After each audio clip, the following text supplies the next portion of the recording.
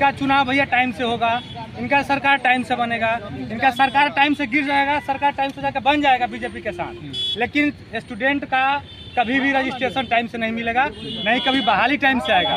लेकिन Bihar Bihar pharmacy council offline कर रही है काम, क्योंकि वहाँ भ्रष्टाचार का पैसा आता है, दलाली होता है। तो मोदी जी का डिजिटल इंडिया बिहार में क्यों नहीं है? यदि डिजिटल इंडिया बिहार में नहीं तो फिर किस बात की डबल इंजन की सरकार है? पांडे से यही हम करेंगे कि हम लोग का जल्दी से जल्दी मांगे पूरी की जाए।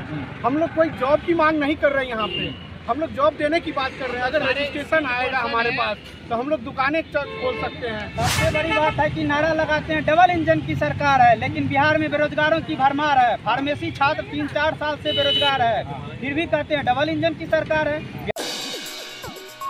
और मैं हूँ मनोज चतुर्वेदी। देखिए फार्मेसी फार्मेसन बिहार जो है, भाजपा कार्यालय के सामने जुटा हुआ है। और क्या इनकी मांगे हैं, जरा इन्हीं से जानते हैं। क्या मांगे हैं, सर? हमारी मांगे सर, हम फार्मेसी स्टूडेंट हैं। हम लोग 2021 में सब लोग पास आउट हैं। 21 में किसी लोग का अप्लाई है, किसी का 22 में अप्लाई है। हम लोग रजिस्ट्रेशन के लिए पीसीआई पटना में, बिहार फार्मेसी काउंसिल में हम लोग अप्लाई कर चुके हैं। लेकिन अभी तक किसी तरह का कोई हम लोग को रजिस्ट्रेशन नहीं मिला। जब भी आते हैं, बस यही बोल के भगा दिया जाता है कि जाइए, अभी कोई नहीं ऑफ़िस में। ऑफ़िस वो जो पटना ऑफ़िस है, दलाल का ऑर्डर, अड्डा बन गया है। बिना पैसा के वहाँ किसी का कोई काम नहीं होता है। हमारा रजिस्ट्रेशन 4 मार्च 2022 का जमा किया हुआ है। लेकिन अभी तक नहीं, हम पिछले दो साल से काउंसिल का चक्कर काटते काटते थक गए हैं। कभी इनका सरकार गिर जाता है, कभी सरकार इनका उसमें सट के बन जाता है, कभी इसमें बन जाता है। इनका चुनाव भैया टाइम से होगा। इनका सरकार टाइम से बनेगा इनका सरकार टाइम से गिर जाएगा सरकार टाइम से जाकर बन जाएगा बीजेपी के साथ। लेकिन स्टूडेंट का कभी भी रजिस्ट्रेशन टाइम से नहीं मिलेगा नहीं कभी बहाली टाइम से आएगा। उम्र पार करा देते हैं ये उम्र पार हो रहा है अब कहाँ उम्र है? एक साल बच्चा है नहीं देंगे तो वो भी खत्म हो जाएगा। इनका पेपर लीक हो जाएगा।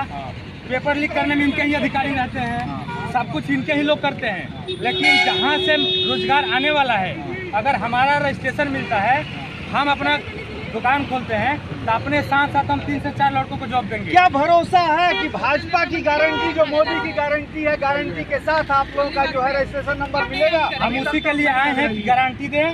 मंगल बाबा अभी जो स्वास्थ्य मंत्री बने हैं हाँ। गारंटी दे कि हम लोग का रजिस्ट्रेशन करेंगे। रजिस्ट्रेशन उन्हीं के शासन काल में बंद भी हुआ था हाँ। और पुनः वो दोबारा आज एक, एक दो दिन पहले मंगल बाबा की भी इसमें चाल है क्या कुछ? इसमें हम कुछ नहीं कह सकते हैं। हाँ। मंगल बाबा हमारे आदरणीय हैं। हम मंगल बाबा से यही कहेंगे कि हम लोगों का जो छात्र का मुद्दा है उस पर क्या गहन कहेंगे? मंगल पांडे से यही हम करेंगे कि हम लोग का जल्दी से जल्दी मांगे पूरी की जाए। हम लोग कोई जॉब की मांग नहीं कर रहे यहाँ पे।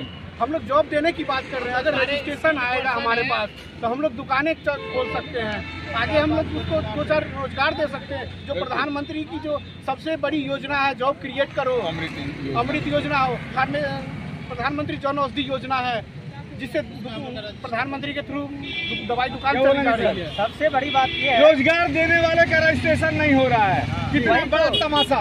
सबसे बड़ी बात है कि नारा लगाते हैं, डबल इंजन की सरकार है, लेकिन बिहार में बेरोजगारों की भरमार है। फार्मेसी छात्र तीन चार साल से बेरोजगार है, फिर भी कहते हैं डबल इंजन की सरकार है। बिहार फार्मेसी काउंसिल में भ्रष्टाचार ही भ्रष्टाचार है। फिर भी कहेंगे डबल इंजन की सरकार है। क्या डबल इंजन की सरकार भ्रष्टाचार करने आई है?